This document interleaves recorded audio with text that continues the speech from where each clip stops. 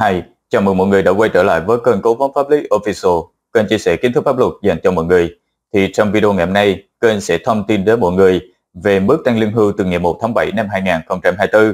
Nếu như mà mọi người cảm thấy nội dung video này hay cũng như là bổ ích, thì để lại cho kênh một like cũng như là một đăng ký kênh để ủng hộ cho kênh nhé. Và ngay sau đây chúng ta sẽ cùng đi vào nội dung chính của video ngày hôm nay. Thì mới đây, Bộ trưởng Bộ Nội vụ cho biết từ ngày 1 tháng 7 năm 2024 tới đây, mức lương cơ sở sẽ tăng từ 1,8 triệu đồng một tháng lên mức 2 triệu 340 ngàn đồng một tháng. Cùng với đó, các trường hợp hưởng chính sách, chế độ gắn liền với lương cơ sở cũng sẽ được điều chỉnh tăng lên. Theo đó, chính phủ đề xuất từ ngày 1 tháng 7 năm 2024 điều chỉnh tăng 15% mức lương hưu trợ cấp bảo hiểm xã hội. Đồng thời, đối với người đang hưởng lương hưu trước năm 1995, sau khi điều chỉnh có mức lương thấp hơn 3,2 triệu đồng một tháng, thì điều chỉnh tăng thêm 0,3 triệu đồng một tháng, tức 300.000 đồng một tháng. Nếu có mức hưởng từ 3 triệu 200.000 đồng một tháng đến dưới 3 triệu 500.000 đồng một tháng, thì được điều chỉnh bằng 3 triệu 500.000 đồng một tháng. Về chế độ trợ cấp ưu đãi người có công với các bạn, thì mức chuẩn trợ cấp ưu đãi người có công với các bạn được đề xuất tăng từ mức 2 triệu 055.000 đồng một tháng lên mức 2 triệu 789.000 đồng một tháng, tương đương tăng 35,7% so với hiện hành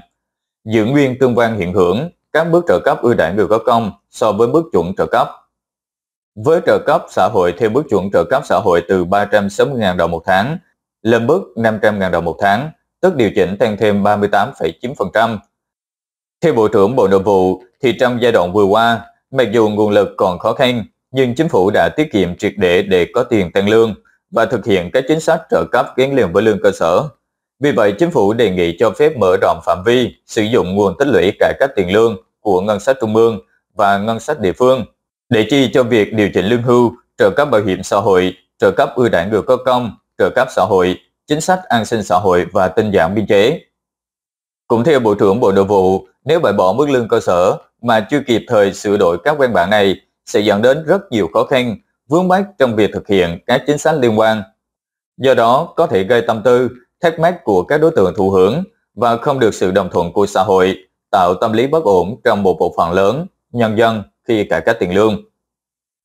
Đặc biệt, sẽ phát sinh trên lệch lương hưu giữa những người nghỉ hưu trước và sau thời điểm ngày 1 tháng 7 năm 2024. Khi bỏ mức lương cơ sở và hệ số lương cũng sẽ có nhiều thay đổi về mức tiền lương làm căn cứ đóng bảo hiểm xã hội, cách tính lương hưu của người hưởng lương hưu khu vực công, phát sinh trên lệch lương hưu giữa thời điểm nghỉ hưu trước và từ ngày 1 tháng 7 năm 2024. Do đó, cần phải có giải pháp xử lý khi sửa đổi luật bảo hiểm xã hội để đảm bảo tương quan giữa những người nghỉ hưu. Theo thống kê của Bảo hiểm xã hội Việt Nam, để bảo đảm đời sống cho người nghỉ hưu, từ năm 1995 đến hết năm 2023, Quốc hội, Chính phủ đã tiến hành 23 lần điều chỉnh lương hưu. Sau nhiều lần điều chỉnh, thì mức lương hưu của người nghỉ hưu hiện nay đã tăng từ 21 đến 26 lần, so với mức lương hưu tại thời điểm năm 1995. Mức hưởng lương hưu không phải là mức cố định tại thời điểm nghỉ hưu, mà định kỳ được điều chỉnh tăng theo chỉ số giá tiêu dùng và tăng trưởng kinh tế phù hợp với ngân sách nhà nước và bị bảo hiểm xã hội để đảm bảo cuộc sống của người nghỉ hưu.